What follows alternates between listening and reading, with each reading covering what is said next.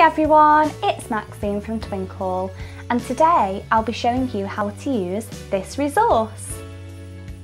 This activity has a selection of tens frames representing pairs of numbers that make 10 using pictures.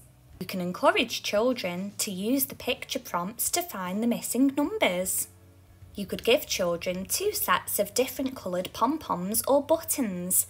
Can they place them over the top of the pictures? They can count up how many of each there are to find the missing numbers. They can then count up how many there are altogether. Some of the questions require children to find more than one missing number. The final question challenges children to find a different way of making 10. Can they draw their own pictorial representation? They could then check it using pom-poms or give it to a friend to try.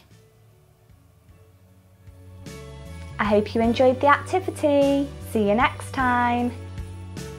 For lots more nativity resources, head over to the Twinkl website.